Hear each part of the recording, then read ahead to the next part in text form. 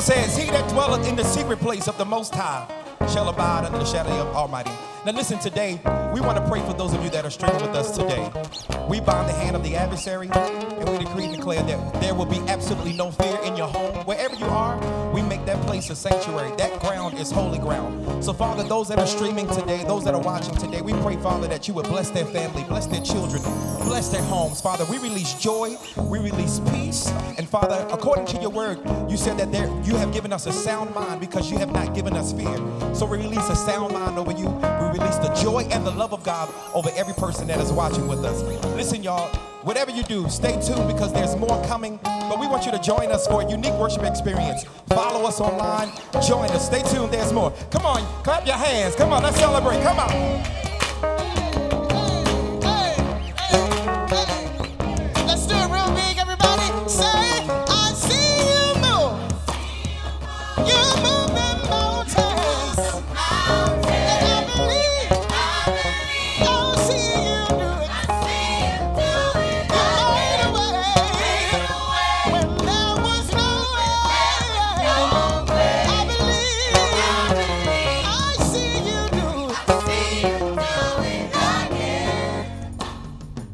Favorite Sunday school story is that of Shadrach, Meshach, and Abednego thrown in the fiery furnace.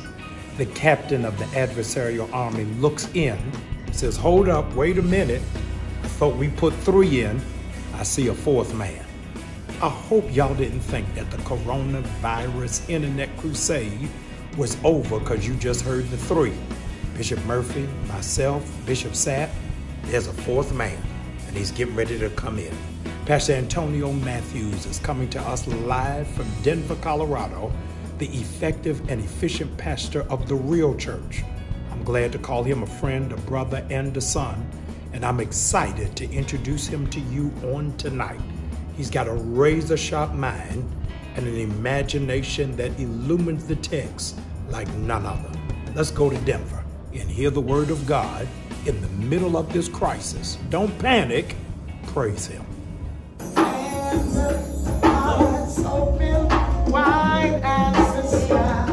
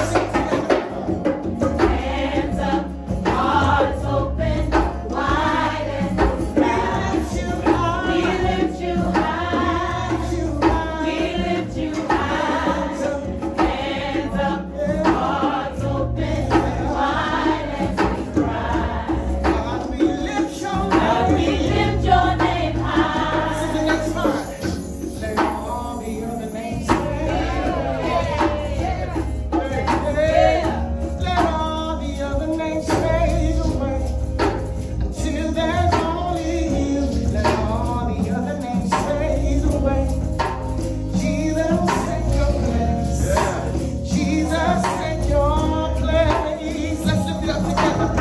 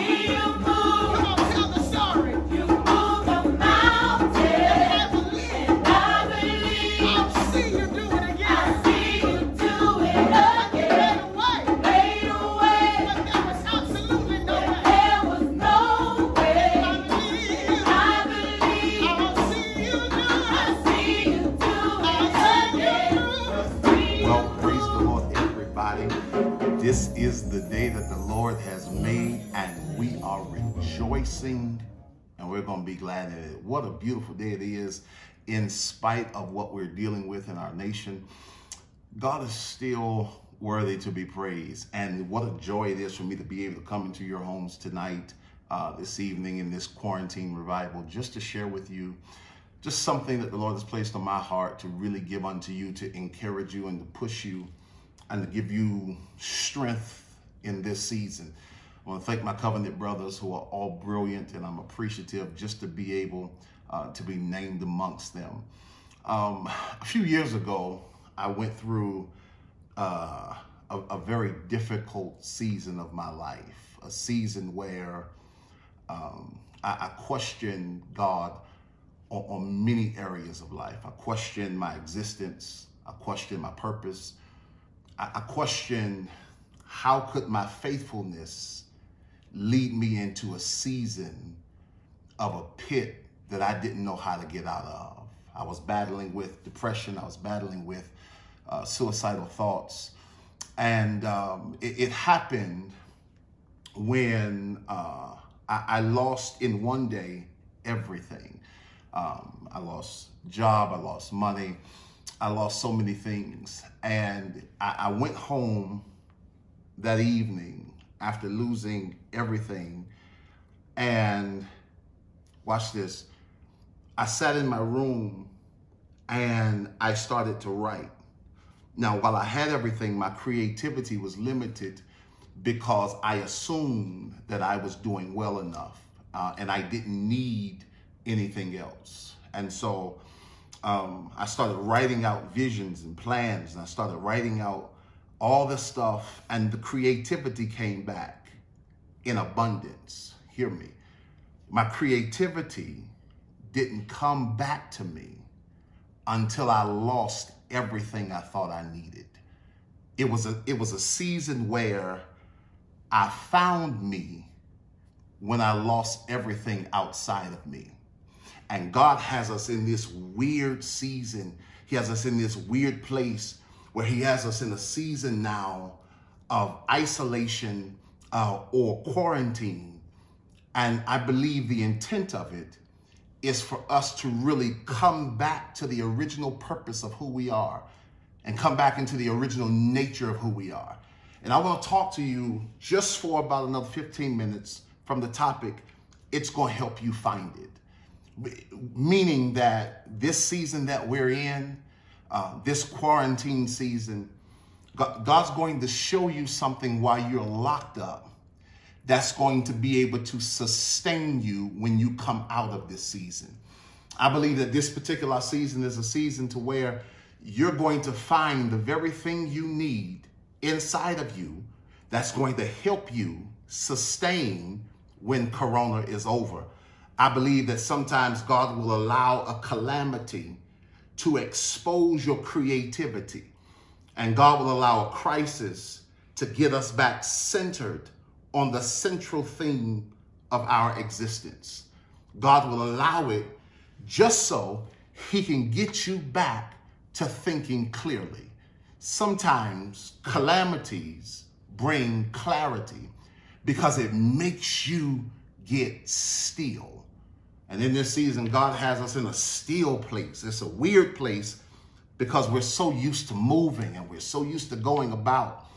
But He has us in a place where He's got us still, He's got us quiet, He's got us positioned right where He wants us. And it's the same for this particular woman in our text in 2 Kings chapter 4. There's a woman who goes to the prophet and says, Hey, my, my husband is dead. Uh, life as I now know it is different. My covering is gone. My provision is gone. Life has shifted for this woman. Life has suddenly had a plot twist that she didn't anticipate. And now she's in the middle of a season where she's stuck at home trying to cover her boys because the creditors are coming to take what she has. And she goes to the prophet and she says, Man of God, you knew my husband was a faithful guy. but he's now gone, and I have nothing to offer them, and they're coming to take my sons. And the prophet asked her one simple question What do you have in your house? And she says, Well, I, I only have this, this cruse, this little bit of this oil that I've been walking past through and through all these seasons. Watch this. Because my provision had caused me to become blind to that which was supposed to be my sustainability. So I had everything around me. So I didn't notice what I didn't. I didn't notice what I had because I had everything. And sometimes God will put you in a place where he'll take everything from around you so that you can see everything on the inside of you. And he, she says, all I have is this oil. And he says, go get some pots because what you've been walking past and what you've been minimizing and what you have been taking for granted and what you have not put to use is going to be the very thing that's going to sustain you during this season and the seasons to come. She found her oil in her crisis. And I'm believing, people of God, that in this season, that this crisis, this particular season, it's going to help you find the oil in your life that's going to help you sustain your life once Corona is over. I'm believing that God is setting us up in this season where He's locking us in the house to find and to revive and to reinvigorate and to refresh the creative juices that have, that have been lacking in our lives.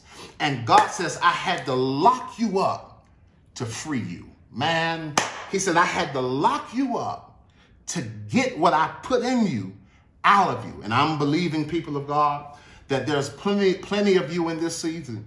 You're going to find your oil because God says, I'm putting you in the place. Hear me. If you come out of Corona and you have not found your oil, you have mismanaged this season where He's allowed you the capacity to be at home, to be still, and to locate the oil in your house so that you and your families can live. God will set us up in moments of crisis just to bring moments of clarity to us so that when we come out, we, are, we have everything we need to sustain us in this next season. So God says, I'm going to help the creative find the creative that's inside of them that's been lacking. I'm going to help the person find the oil that they've been mismanaging all this time because everything around them was flowing smoothly. I'm going to help them find the oil in their life so that when they come out of this season, they'll have everything you God will send us in an unexpected plot twist of life that will have us going one way and that will come into our existence and shift us into another direction. Corona is shifting us into another whole direction. And you know what I found out in the Latin word, in the Latin uh, Latin language, the word corona literally means crown. Literally means it means the crown that God had to put you in a season to make you realize who you really were.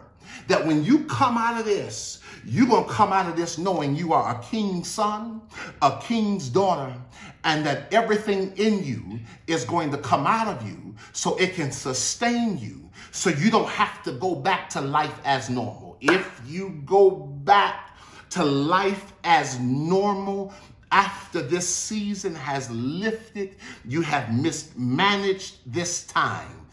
God knows exactly what He's planted inside you. And He knows what kind of soil or what kind of situation you need for it to come out of you.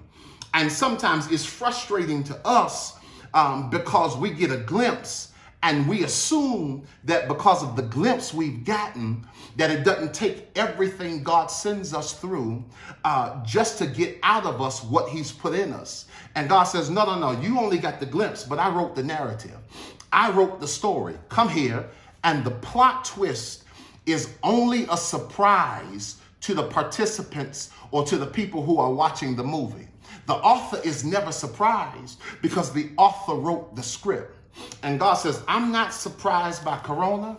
I'm not surprised by this pandemic. I'm not surprised by this season. I'm not surprised by where you are. I'm not surprised by what you're dealing with. I'm not surprised by what you lost. I'm not surprised by what you endured. I'm not surprised by what you overcame. I'm not surprised by what you in now. He says, because I wrote the story.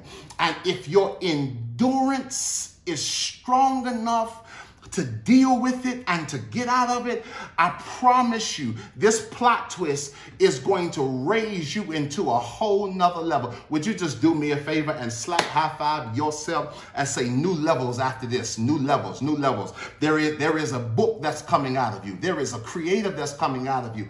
God has said, I'm placing you in a place where you're going to see, watch this, what you haven't seen because now you have to find it. Yeah. He says, You got to find it. Woman, what do you have in your house? That means I've got to go and take an assessment of what I have now uh, in my life caused to become normal and to see the extraordinary in that which I deem normal. What do you have in your house? Why do you think God has us in the house in this season? It's springtime. The weather is nice. It's coming together. We want to be outside. And God says, No, I'm going to do you like Moses. I'm going to let you look at the beauty from the inside. He says, Because there's some stuff you've been walking past, and there's some stuff you've been overlooking, and there's some things in your life you've taken for granted, and there's some things that's, that's in your house that's in your possession, that's in your space, that I've planted there to sustain you after this season is over. He says, but don't mismanage it. He says, find your oil. And I don't know who I'm talking to in this season. I don't know who I'm talking to that's watching me all over the country. The Lord is saying, you've got to find your oil. You, you've got to find the very thing you need so that when the creditors come to take your boys, you have what you need to pay them off. When the creditors come to take that which you have given birth to, you won't be in debt. But when the creditors come to steal that which you've given birth to, you, you won't be in debt. He says, this season of life you're in, you've, you've got to find your oil. Watch this. And you've got to get connected to people who will help you find that which you've been overlooking. She says, Prophet, my, my husband is dead. Um, I'm used to him taking care of me. Can you help me? Watch this. Can you help me? Because now, if he helps her, not find her oil, but if he brings her out of debt, now she's dependent upon him. And he says, I'm delivering you from dependency. And I don't know who I'm talking to in this room tonight. I don't know who I'm talking to. God says, I'm delivering you from depending on people who are not helping you genuinely. Because every time they sow into you, they jot down a budget line item to bring it back up once you come up. He says, No, I'm going to put you around people who's not going to give you a handout, but who's going to help you see that which is supposed to come out of you. I'm going to put you around people that's going to help you see what you've been overlooking. I'm going to put you around people that's going to help you see that which you've been walking past. What do you have in your house? And God is saying, man, you've been missing it all this time. You, you've been missing it. And watch this. I didn't see what was in me until I lost everything around me. I, I didn't see what God was trying to do in me until I had to see it. Because God will place you in a season where you have nothing left but to find your oil. And I don't know who you are. I don't know where you are. But don't mismanage this time. Don't mismanage this season. Don't, don't mismanage what God is doing in your life. Don't, don't mismanage this particular sect. There was a, I don't know if you've seen the movie, uh, the, the Netflix series called All American. And, and, and during this time of Corona, I've also been binge watching Netflix, and it's a story called All American about this young kid who's a great football player, but I don't want to start, still uh, ruin the plot, but he becomes an incredible All American, not just on the field, but off the field as an activist in his community. And his teacher asked him, he said, um, Write me an essay on your greatest inspiration. Um, and he began to ask people about this particular narrative that he had to write and ask them who their greatest inspiration was. Um, and then he had a story like mine where he had um, hadn't seen his father in years. And at the end of the, the essay, he starts writing and he says, My greatest inspiration was the absence of my father because had he been around, had he not left, I wouldn't have become the man I am today. My greatest inspiration, watch this, was the absence of something that I thought I needed, but realized I became better because it wasn't there.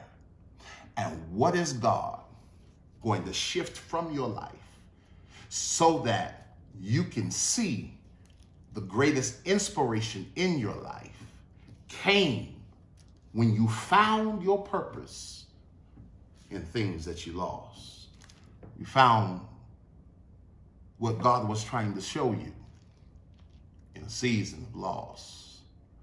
God says, this season, this season, you've got to find your oil. You've got to find it. You've got to find your oil so that when this is over, you'll be able to be sustained, not dependent upon anything else, but you'll be able to be sustained in the seasons to come. We pray for you. Father, I pray that those that are listening to me tonight, I pray, God, that you would bless them and give them the capacity to see what they have been missing and, and see what they have been mismanaging. And let this season cause them to find the very oil in their life that's going to be the catalyst for generational wealth in their life. In Jesus' name, amen. You see the information on there. If you want to sow into the ministry tonight, you can do so right now. It's on the screen, it's on the bottom of this particular post. Please, I encourage each and every one of you, every one of you, if you're going to find your oil, it's going to be in your seed as well. I want every one of you to grab a seed, grab a significant seed tonight and sow into the ministry. And I want you to put in the memo, I'm finding my oil. I'm finding my oil.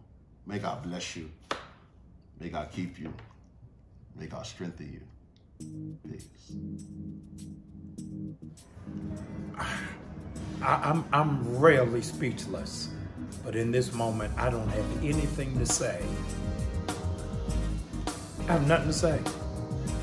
And literally, in this moment, I can't even hear what you got to say. But I want your actions to speak louder than your words. You were blessed in this moment. I want you to sow a seed that is a sign that would suggest I'm appreciative for what I've received. Do you know why the coronavirus is so dangerous? Why it's so lethal? Because it comes with no signs. It comes with no evidence. The reason why you are so powerful, the grace is so heavy on your life, because it's coming with a sign, wonder, miracles, evidence. I want you to come into agreement. I want you to sow a seed right now to any of the platforms that we've laid out before you tonight. I want you to sow a seed in anticipation for the sign, the wonder, the miracle, and the evidence.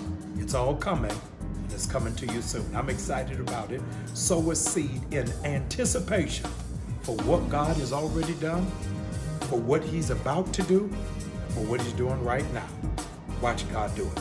Tomorrow night, my brother is coming all the way from Jacksonville, Florida, Bishop Rudolph McKissick Jr. I only got one question. Won't he do it? Meet me here tomorrow night. We've been crashing the internet all week long. Tomorrow is our rising crescendo. I got goosebumps thinking about it.